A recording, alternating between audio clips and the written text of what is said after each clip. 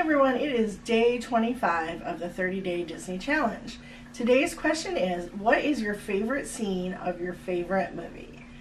As you all know, my favorite movie is The Little Mermaid, and my favorite scene is probably the most iconic scene from that movie, which is when Prince Eric and Ariel are in the boat. And there are toys that were made after this um, scene. There's actually a necklace, I may get it th- this weekend at Disney World that is Prince Eric and Ariel in the boat. Um, I've seen a lot of people have it, and I really want it.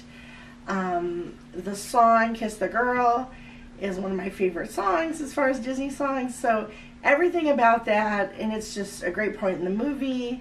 So that's my favorite scene. I'd love to hear what yours is. So go ahead and leave it in the comments.